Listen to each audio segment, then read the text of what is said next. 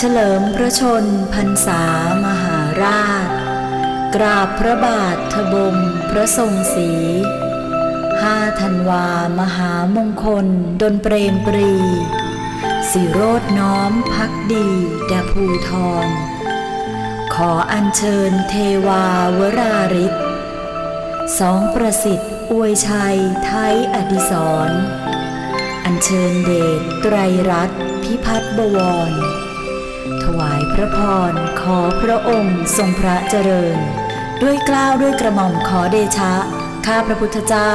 ผู้บริหารและพนักงานบริษัทโพลิพลัสเอนเตอร์เทนเมนต์จำกัด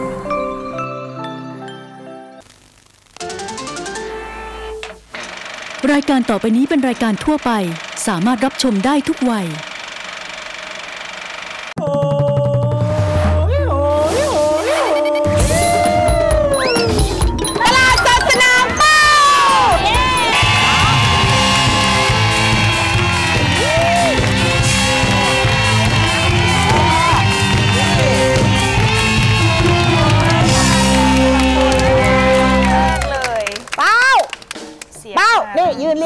เรียงหน้ากันเลย ฉันจะได้ด่าทีเดียวรวดเดียวเลย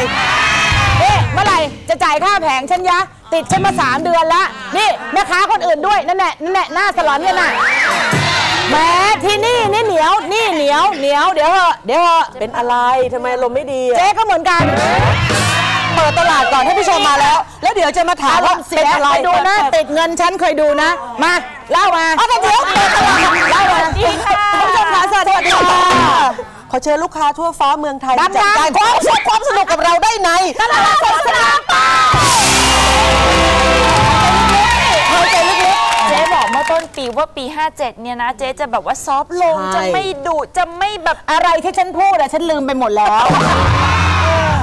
เดี๋ยวให้เขารันเทปเลยรีแต่เพลนี่ย์ดู แต่นี่ก็ลดลงตั้งเยอะแล้วนะคุณผู้ชมค่ะ อันนี้ก็ซอฟต์ลงแล้ว แต่แต่มีคนหนึ่งต้องบอกเลยว่าเป็นตัวแม่มาก แอดวานซ์เห็นมากระตาเลยจริงเหรอ และถ้างานนี้เชิญเข้ามานะ ถ้าเขาของขึ้นนะ นั่นไงนั่นไงนั่นไงผลไม้ก็ดีอะไรนะคะเกลียดเท่าไหร่นะเกลียดเหลือเกินฟักทองก็ไม่สุกเลยโดนจะแย่มากเลยการกันเอง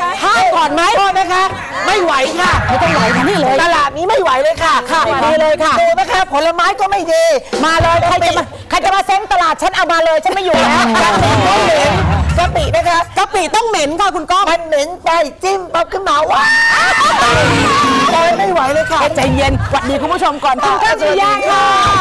สวัสดีพี่ก้องค่ะสวัสดีค่ะโอ้โหมีดนตรีเปิดตัวปรี๊ดปรี๊ดค่ะให้จ่ายไปเท่าไหร่ล่ะ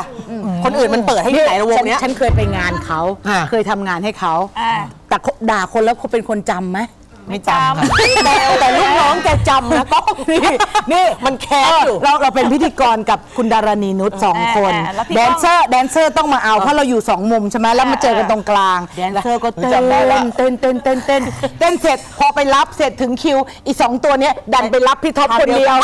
เอาแล้วเหรอพี่เจ๊ ไม่มีคนไปรับทำไงรู้ไหมทำไงรู้ไหมนี่ทำไงทำไงกระดึ๊บกระดึ๊บออกไปกระดึบกับตัวเองเก่งมากคุณผู้ชมนะ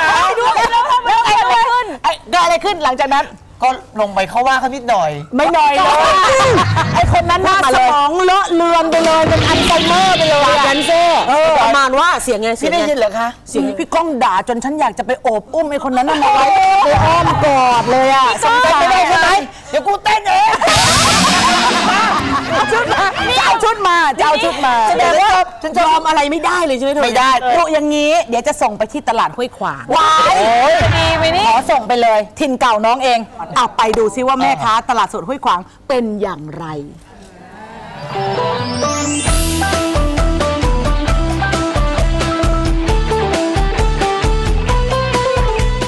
พ่อค้าจ๋าอันนี้อะไรเนี่ย ขนุน3ขีด40โอ้ยแพง อะแล้วนี่อะไรเนี่ยหยวกกล้วยจ้ะหยวกกล้วยไปทำอะไรคะ เอาไปแกงได้ค่ะแกงอะไรคะก็ใส่ใส่โยนมีอะไรก็โยนโยนโยนใส่เลยค่ะอะนี่ตอบกวนเหรอไม่กลัวหรอกค่ะนี่จะหาเรื่องกันใช่ไหม ไม่หาแล้วค่ะคุณผู้ชมค่ะ ช่วยด้วยค่ะ ใครจะช่วยห้ามทับส่งเจนี่ได้มั่งเนี่ยเว้ย ให้ผมช่วยดีกว่าครับพี่ทำเป็นเหรอคะ ทำเป็นเป็นอุ้ยเหรอแล้วแกงย่างไหมพี่ อยากดูไหมฮะอยากดูค่ะไปเขาไม่ขายค่ะ ไม่ ขายเท่าไหร่ครับขยฟรีไปเลยค่ะอะอ้าจะให้ฟรีเลยมันรวยจ้าขอบคุณครับ นี่แหละค่ะพี่จักรชายหนุ่มที่จะมากำลาบพี่ก้องของเรา พี่จักรเนี่ยเขาเป็นกูรูตลาดสดตัวจริงเสียงจริงที่คลั่งไคล้การเดินตลาดสดเป็นชีวิตจิตใจ ไม่ว่าจะเช้าสายบ่ายเย็น ถ้าได้ผ่านตลาดป๊อบต้องแวะทันทีห้วยขวางเนี่ยมีอะไรเด็ดบ้างที่เนี่ยก็คือเป็นคลองเตยย่อส่วน คือมีทุกอย่างเหมือนคลองเตยแต่ว่าจะเป็นที่เล็กๆเล็กๆเล็ก นี่ลูกอะไรกันเนี่ยๆมะขามป้อมที่จะเป็นที่นอนน้อยๆอะอ๋อวิตามินทำอะไรซีอะดีมากชุ่มคอมากเลยนะ กินเลยเหรอเนี่ยกินเลยกัดเลยครับ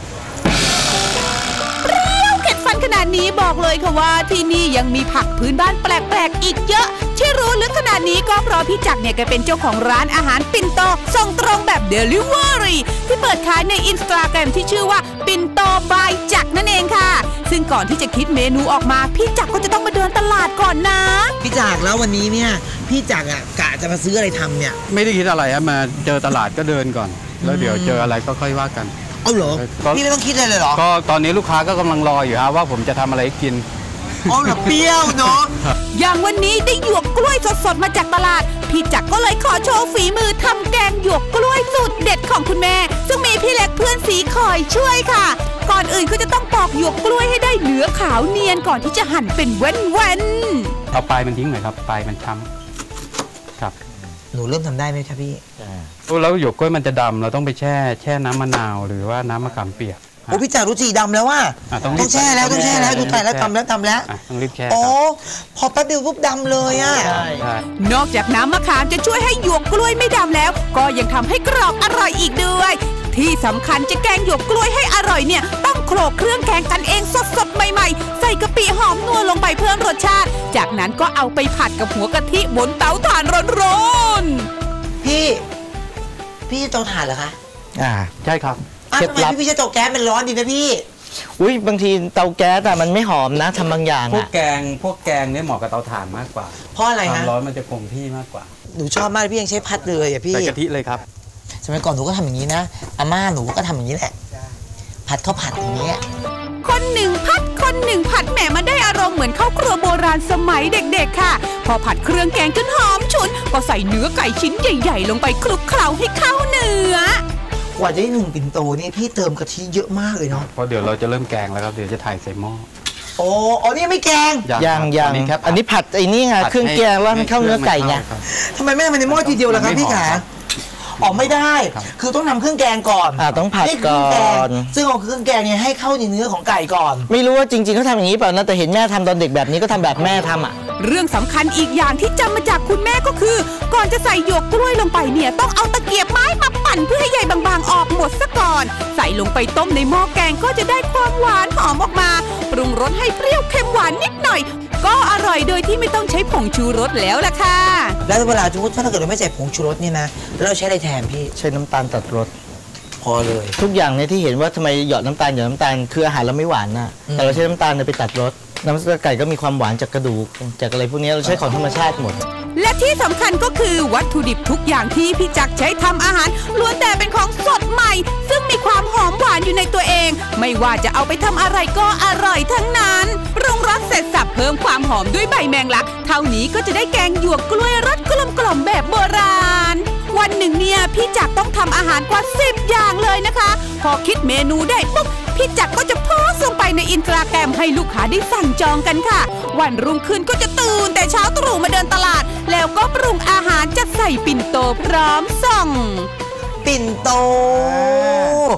เก๋มากเลยอะเหมาะกับคุณอย่างดิฉันมากเลยอย่างที่บ้านที่ดิฉันจองนี่จองสีสีสีสีชมพูนะคะจริงๆแล้วมันฟิกสีไม่ได้นะ เพราะมันจะเหมือนเวียนอะอ๋อแต่ว่ามันจะมีสารพัดสีเลยสวยทุกสี เก๋มากเลยอะโอ้ชอบมากเลยน่าอะรักน่าเอ็นดูเนาะน่าเอ็นดูมาก ในหนึ่งปิ่นโตจะสามารถเลือกอาหารได้ 4 อย่างค่ะ พร้อมกับข้าวหอมนินอุดมด้วยวิตามิน ในราคาปิ่นโตละ 500 บาท กินได้ 2-3 คนเลยนะคะ ซึ่งแต่ละวันพี่จักรก็จะมีเมนูให้เลือกไม่ซ้ำขึ้นอยู่กับว่าวันนี้จะเจออะไรที่น่าสนใจในตลาด อย่างวันนี้มีเมนูพิเศษเป็นผักกระเฉดชะลูดน้ำจากกระบินบุรีกระเจ็ดจากกระบินบุรีเขาจะปลูกแบบพิเศษชะลุดเขาเรียกชะลุดน้ำไม่มีที่ไหนเลยในประเทศไทยมีอำเภอเดียวที่ปลูก มันปลูกยังไงพี่เขาต้องใช้ปลูกในแม่น้ำที่น้ำต้องใสสะอาด ไหลผ่านตลอด แล้วเขาใช้หินกดไว้ข้างใต้น้ำแล้วก็ให้มันแทงยอดขึ้นมา แล้วมันก็จะเลียวอย่างเงี้ย แล้วมันเหม็นเขียวน้อยนะ